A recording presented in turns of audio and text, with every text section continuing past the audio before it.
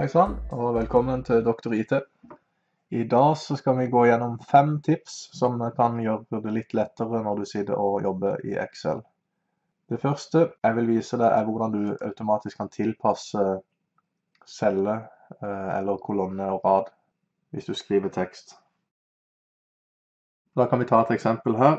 Her har vi da noen ord som går over eh, fra den ene cella til den andre. Og hvis du ønsker at dette skal tilpasses automatisk, så setter du markøren akkurat her mellom kolonnene A og B, og dobbeltklikker. Så har den tilpasset seg. Og Dette kan du også bruke hvis du ønsker å ha et område hvor alle kolonnene eller alle radene skal ha samme størrelse. F.eks. sånn som dette. Så kan du gjøre sånn. Og så blir alle kolonnene i den størrelsen som du har markert den ene på.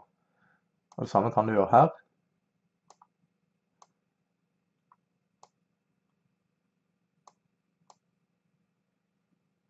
Så det er en grei funksjon når du skal gjøre redigering.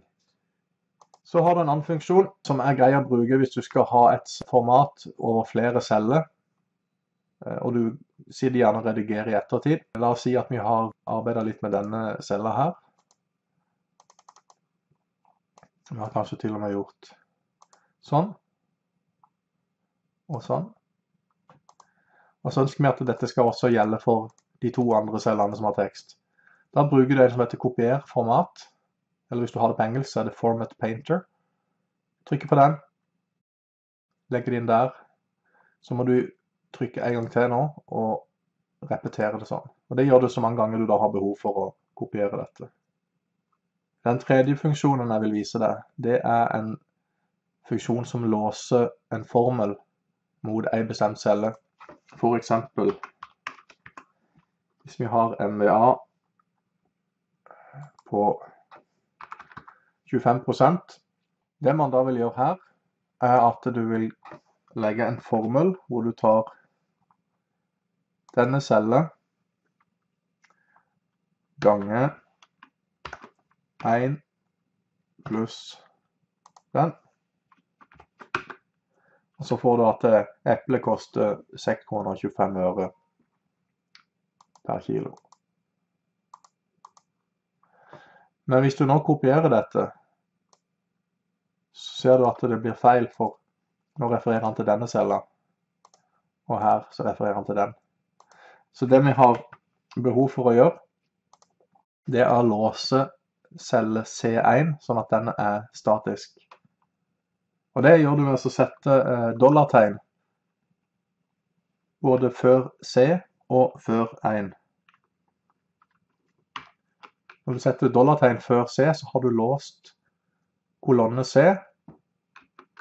Det vil si at hvis vi beveger oss bortover her, så er det fortsatt på kolonne C. Men hvis vi beveger oss ned, så forandrer radar seg. Så det betyr at vi vil også sette et dollartegn foran ett-tallet. Sånn. Da kan vi flytte den ned, og du ser at den har låst til celle C1. En annen måte å gjøre det på som er litt mer uh, praktisk enn å måtte skrive inn dollartegnet, det er å trykke F4. Så ved å trykke F4 nå, så forsvinner dollartegnet på den ene. Trykker F4 en gang til, så flytter det seg til den andre og trykker F4 enda en gang, så blir det borte. Så det er en litt mer rask måte å, å jobbe på.